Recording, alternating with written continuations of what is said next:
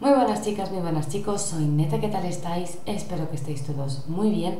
Hoy os comento una noticia sobre un juego que estoy esperándolo y tengo hype, hype, hype que no veas. Son los Sims 4 y es que ya han desvelado los requisitos mínimos para poder jugar. El juego pide unas especificaciones muy asequibles porque por lo que debería funcionar sin demasiados problemas en una amplia gama de equipos. Por ejemplo, solamente pide un procesador dual core de 1,8 GHz y 2 GB de RAM, así como bueno, tarjetas gráficas de hace años, como por ejemplo los requisitos mínimos, ¿eh? los recomendados. Los mínimos son los que más o menos todo el mundo quiere. El sistema operativo, ojo, ojo, ¿eh? Windows XP. Ojo, pero tiene que tener el Service Pack 3 instalado.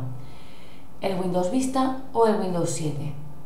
Windows 8 o Windows 8.1. Un procesador 1,8 GHz, Intel Core 2 Duo, AMD Athlon 64 Dual Core 4000 Plus o equivalente. Eso en cuanto al procesador. La memoria mínima 2 GB de RAM. Ya te lo piden. Que eso es básico. El disco duro. Todo el mundo yo creo que llega al menos 9 GB de espacio libre y un GB adicional pues, para contenidos personalizados y las partidas guardadas. El DVD-ROM, pues como siempre un DVD-ROM requerido, que solamente es para la instalación, obviamente. Tarjeta gráfica. 128 MB de video RAM y compatible con Pixel Shader 3.0.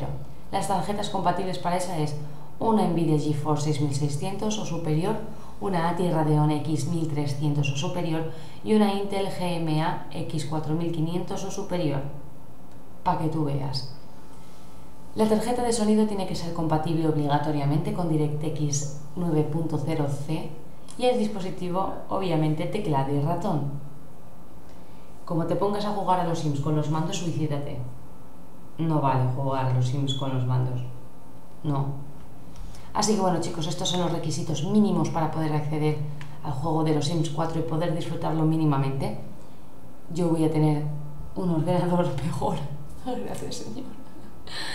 Y voy a poder tenerlos con los requisitos recomendados a tope, a tope de power, con los gráficos. Y bueno chicos, bueno, esto es todo, un besito a todos y nos vemos en otro vídeo más de este canal. Hasta la próxima, chao.